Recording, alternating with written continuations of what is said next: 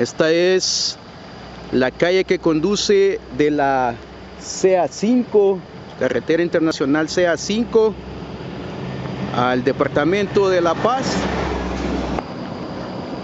Atendiendo los reportes de los seguidores de Primicia Honduras, pues nos trasladamos hasta esta zona.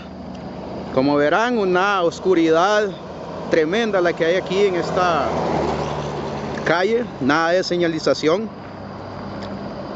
Eh, han reportado que han habido bastantes accidentes en esta carretera que conduce hacia Marcala, la ciudad de La Paz, que pues eh, se denomina la calle de la ruta lenta de igual manera.